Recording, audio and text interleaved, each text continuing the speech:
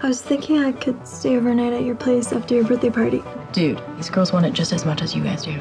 She's hot and she wants to spend the night. Couldn't be more perfect, Franky.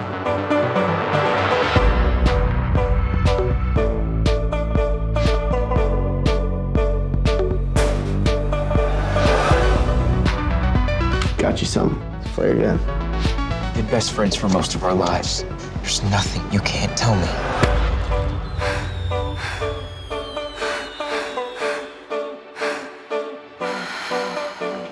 Alice, wait.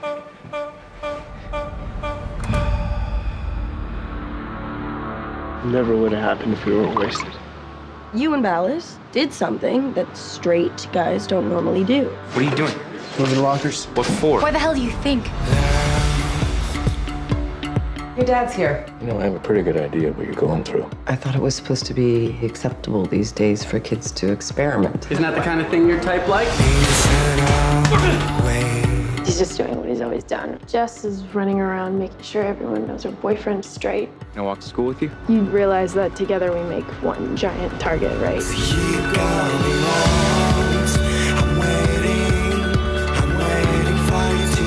Don't like my sister being used. Just so people think you're into girls. Things change. Close friendships can change. What are you so afraid of?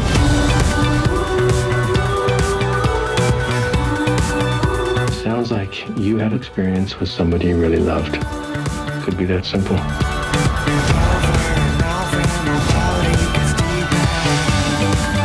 I suggest you just pay attention to who you're drawn to. Don't worry too much about what to call it.